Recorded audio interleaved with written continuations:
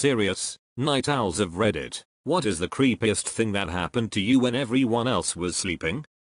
I recall a few months ago I was on my 3DS when I heard my little 7 year old brother calling my name. This wasn't uncommon as he used to stay up a lot on his iPod watching YouTube and had questions for so and so thing in game. So I put on a shirt and went to check on him.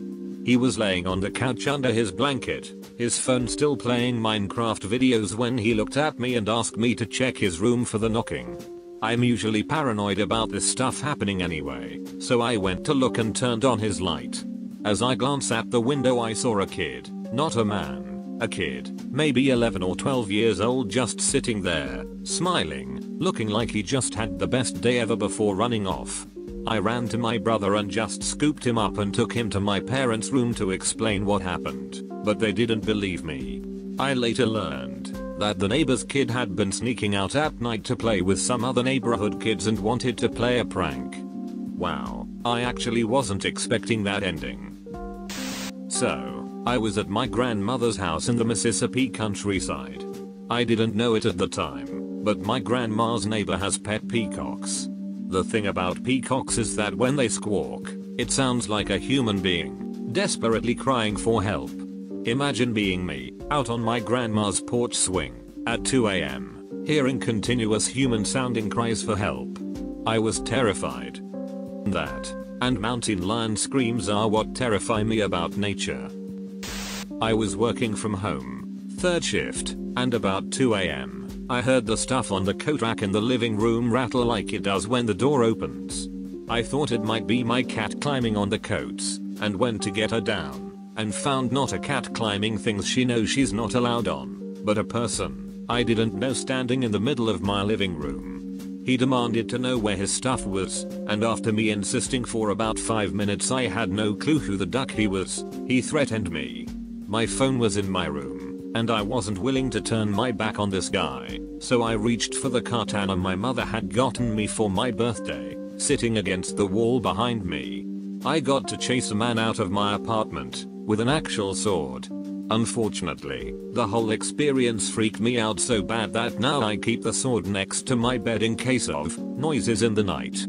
I also lock the door so I was home alone at 2am as my parents were out at a yearly company event which always drags out into the wee hours of the morning, and I was cleaning my house as a surprise for my parents so they'd come home to a spotless house. They've worked hard, they've earned their night out and I was honestly enjoying myself as I had my tunes on and was lost in thought. All the lights were on so even though it was night, there wasn't no dark spooky corner to make me feel uncomfortable. This is important for later. As I'm cleaning, I think I hear a door creaking. I shut off the music and sure enough, I hear creaking again. I go out into the hallway and it's the door to my sister's room creaking open. The light in her room is off, which I immediately found odd as I hadn't even gone into her room since it didn't need any cleaning. I figured the light was always off or maybe I forgot having shut it off. There wasn't much in the way of wind but the doors have been known to open and close sometimes on their own. Offhandedly, I say aloud. Hey, could you close the door? I'd appreciate it. The door begins to creak closed, which at first started giving me the chills, but I dismissed it thinking I must have just timed my words to when it would start creaking closed. So I added on. Actually, it's cool you can keep it open. It started opening up again, creaking ever so slowly. I was starting to get creeped out so I decided to just walk past and ignore it. Chalk it up to my imagination getting the better of me. I didn't feel like putting my tunes back on so as I cleaned, I kept hearing the door creaking again and again. And every time it was just the door to my sister's room. Starting to get tired and almost sure it was just the wind or something, I passed by it and saw it more open than before, and pitch black inside. I didn't stick around to look inside and just commented in an offhand tone. Just close the door already. Cool thanks ghosts. Slam. I nearly jumped out of my ducking skin and immediately turned around to see the door to my sister's room closed shut. My eyes were wide and my heart was racing. Everything was so silent and calm, I had trouble believing I was so absolutely terrified. What scared me the most was the fact that my sister's room has a door where you need to turn the knob to fully close it, else the little metal piece which keeps the door closed makes it bounce off the frame, unless you slammed it hard enough to bypass the resistance of the metal springing the knob. The other thing that absolutely terrified me and made me go into my room and wait for my parents to come back home was that under the edges of the door into her room, the light was on. Listen. For my own sake I'm going to pretend this is made up. Call me weird, but sometimes when I can't sleep I get bored and get out of bed. I go to the window and look out of it for a bit. I dunno, it just kinda calms me seeing my backyard in the moonlight. I find it peaceful. Anyway, I was looking out the window when I saw a figure jump the fence. Too big to be a cat, it was human shaped, the person made the motion with their head that they were looking around frantically, then they hid behind a bush. I was petrified. For what seemed like an eternity, they stayed there. Then they ran to the other side of the backyard and jumped that fence over into my neighbors. I never knew who it was or what they were doing. I always suspected that maybe they were being chased or something. It just really freaked me out. So back when I was living way out in the countryside, I used to have to drive a good 20 minutes just to get to a county maintained road, and then another 40 minutes into the city to go to school and work. I'd go to school in the mornings and then work with a video production company filming weddings and bar mitzvahs and such.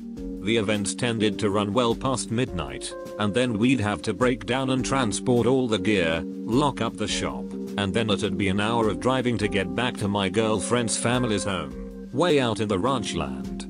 I'm driving home one night probably 2 or 3 am, exhausted and probably in need of a tall glass of water if you follow, and I get to the end of the pavement and start blasting down this tiny dirt road, in that real country dark where all you can see is a little cone of headlight. Mesquite bushes and desert grass make this sort of wall on either side of the road so it's like driving down a little chute of scraggly little branches, and I'm coming around this corner, when up in the road is this ducked up looking thing. I slam on the brakes and shoot this wall of dust out ahead of me, but through the dust sitting centered in the beam of my headlights is this white, hunched figure. It has long legs and haunches like a jackrabbit but it's a good 4 feet high and kinda lumpy, like an illustration from those scary stories books and I am terrified. It kinda rocks a little bit and shivers and I'm looking at this thing and it makes no sense at all the way it's shaped. I stare at it for a good minute, just idling in the middle of this road trying to make up some kinda story to myself to explain what the hell I'm looking at, but I am completely stumped. So I start creeping the car forward, and as I'm getting close enough to see the shapes of its muscles and the shine of fur, the thing hops up, and the bit I thought looked like a head with a long ear stretches up and out, changing its whole shape like something out of the thing and I about screamed. Still nearly invisible, except for its white striped legs and underbelly, this black cow that had been sitting at the edge of the road stood up, showing part of its body that had been hidden behind a folded black leg, and staggered off into the bushes to find a spot to sleep where people weren't blasting it with high beams. I felt like an idiot later, but in that moment where it was rising up and like, unfolding itself, if I had run off before I saw what it really was, I'd be swearing to this day I saw a chupacabra or a demon or some craziness. I worked overnights at a gas station, well lit, considered it my home away from home, treated everyone nice except one person who assaulted me one time for declining her card, except I can't decline it manually so, anyway. First things first, I'm mopping the backroom area as a above and beyond thing for my boss, used to even clean the ceiling vents, like I said, home away from home, and I come out to the front counter where the cigarette drawer that has all the cartons is hanging open. I immediately think I got robbed so I lock the front doors to go in the back room to check the security footage.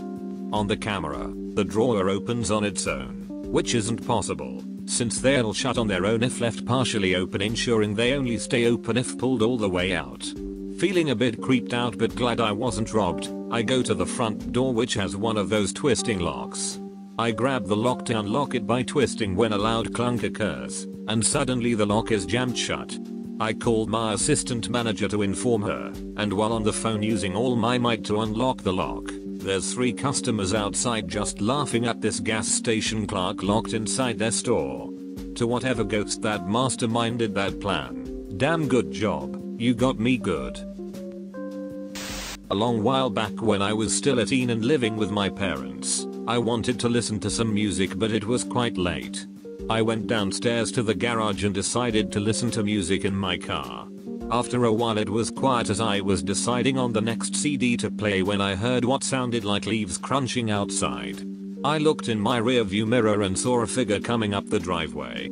The motion activated floodlight on the garage did not illuminate as the figure approached the front door. I quickly and quietly head back inside and go up to the kitchen where I could get a view of the front door. It was still quite dark, but I could make out the shape of a person standing at the front door. They stood there for a moment before I hear a knock. Obviously, this is strange for a quiet neighborhood at 3am. I reach for my phone and dial the police, but after waiting for another minute that felt like an eternity, the person turned around and walked away back down the drive and into the street, being careful to avoid the only street light. Before the police had arrived, he was gone. They started to search the area but found no one. One officer came to ask questions and get a description, but it was so dark I couldn't make out anything useful. To this day, I still have no earthly clue why this happened. A couple of years ago, I was laying on the couch, watching TV with the lights low. It was around 3am. I noticed a sound from the front door and looked to see the knob turning slowly left and right. The knob was locked, but it was still terrifying. The turning stopped after a few seconds, presumably because whoever was turning the doorknob heard the TV. However, the next day I was curious.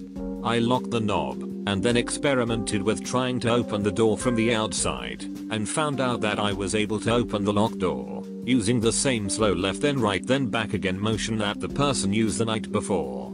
My fear is that whoever was testing the doorknob may have been in the apartment before late at night and possibly other apartments in my unit with the same crappy doorknob. Make sure you have a deadbolt on your door as well and make sure your doorknob lock still works. I had no idea that the locking mechanism on doorknobs could actually fail or wear out in such a way that the doorknob can still be turned and opened despite being locked. I had a drunk guy walk into my house once, claiming he thought it was his. That was the only wake up call I needed, to remember to lock my door when I'm home all the time. I can kinda get it in an apartment building where every door looks the same, but this was in a unique house on a quiet street. Kinda makes me wonder if this is a tactic used by people trying to rob places, if they get caught, pretend to be drunk and confused so they don't get the cops called. A drunk guy tried to climb in my bedroom window when I was about 10. I was terrified and yelled at him to duck off. He then started knocking on the front door and woke up my mum. She realized he belonged to the Marsols next door and told him to duck off over there. To be fair, we lived in state housing and all the houses did look the same. At about 3 in the morning, I was playing video games in my living room when my front door knob turns, but doesn't open. So I ran over to it, locked it, looked through the blinds and there was a crackhead, standing on my front patio. Edit, for those wondering why my front door was unlocked at 3am. I always lock it before bed but was still going out for the occasional smoke. Also I live in Canada.